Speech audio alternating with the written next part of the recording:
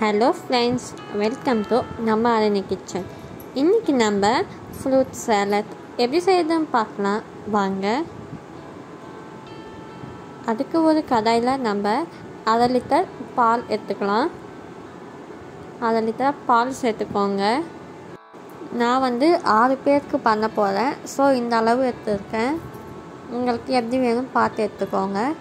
இப்போ இது நல்லா நம்ம மிக்ஸ் பண்ணிக்கலாம். இது நல்லா ஒரு திக்காக வரணும். நல்லா மிக்ஸ் பண்ணி விட்டுக்கோங்க. பாலாட வளர்த்து உள்ளே தள்ளி தள்ளி நல்லா மிக்ஸ் பண்ணி விட்டுக்கோங்க. இது நல்லா திக்காக வரணும்.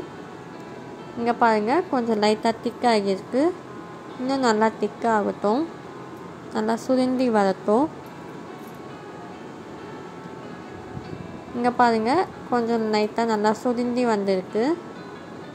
இப்போ இது கொஞ்ச நேரம் நல்லா கொதிக்கட்டும்.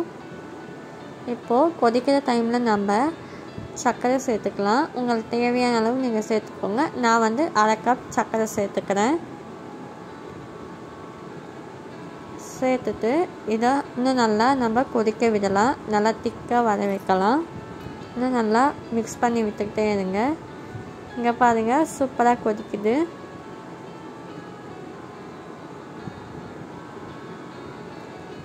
இப்போ இதில் நான் வந்து சும்மா டேஸ்ட்டுக்காக கண்டன்ஸ்டு மில்க் சேர்த்துக்கிறேன் ஒரு ஸ்பூன் உங்கள் கிட்டே இல்லைன்னா விட்டுலுங்க ஒன்றும் இல்லை.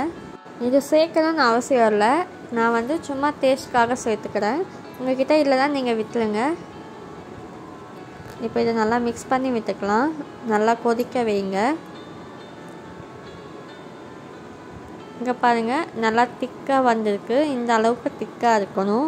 இப்போ இதை நம்ம நல்லா ஆற வச்சு எடுத்துக்கலாம்.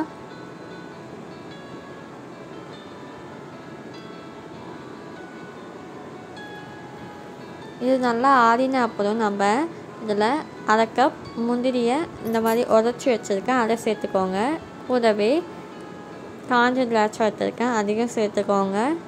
ஒரு ஆப்பிளை இந்த மாதிரி தோல் சீவிட்டு கட் பண்ணி வச்சுருக்கேன் அதை சேர்த்துக்கோங்க.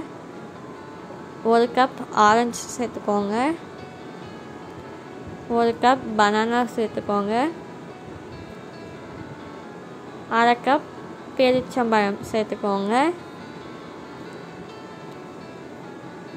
ரெண்டு கப் மாதுளை சேர்த்துக்கோங்க. ஃப்ரூட் சாலட்க்கு மாதுளை ரொம்ப சூப்பர் டூப்பர் காம்பினேஷனாக இருக்கும். இப்போ இதை நல்லா மிக்ஸ் பண்ணி விட்டுக்கலாம். நல்லா மிக்ஸ் பண்ணி விட்டுக்கோங்க. அவ்வளோதான் ரெடி ஆயிடுச்சு. உங்களுக்கு வேணால் இதை நீங்கள் ஃப்ரிட்ஜில் வச்சு சாப்பிட்லாம். இல்லை சாப்பிட்லாம். நல்லா தான் இருக்கும். இப்போ நம்ம ஒரு பவுலில் சர்வ் பண்ணிக்கலாம்.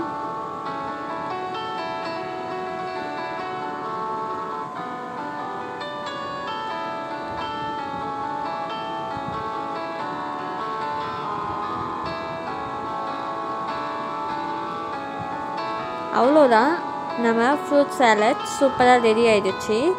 நீங்களும் வீட்டில் கண்டிப்பாக இந்த மாதிரி செஞ்சு பாருங்கள் குட்டீஸ்க்கெல்லாம் செஞ்சுட்டாங்க. ரொம்பவே விரும்பி சாப்பிடுவாங்க.